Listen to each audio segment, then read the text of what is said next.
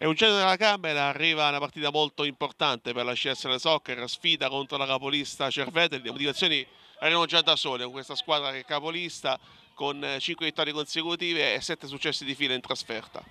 Sì, sicuramente sarà una partita difficile, loro sono un'ottima squadra, stanno facendo un grosso campionato, penso sia la favorita per la vittoria finale, noi sicuramente scenderemo in campo per giocarcela, poi quello che sarà sarà.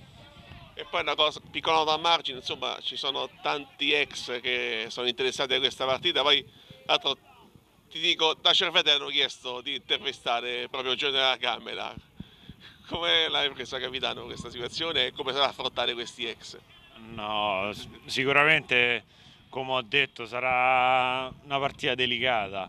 Alla fine sì, è una bella cosa anche affrontare gli ex compagni, Gigi, Jacopo, il mister, Alessandro, Daniel spero sia un bello spettacolo e che vinca il migliore alla fine. Voi ci arrivate dopo la vittoria di mercoledì scorso contro il Gallese, quindi un passo diciamo così, di rilievo per eh, compiere questa rimonta per la salvezza.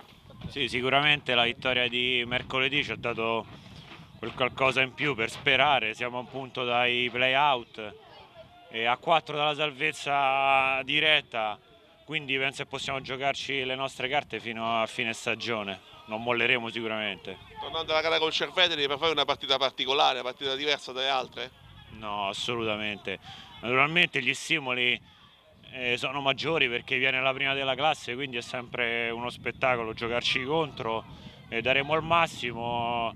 Speriamo di fare un ottimo incontro sperare, sperando di vincere, anche perché a noi servono i punti per la salvezza come a loro servono per la vittoria del campionato, quindi penso sarà una bella partita, un buon incontro.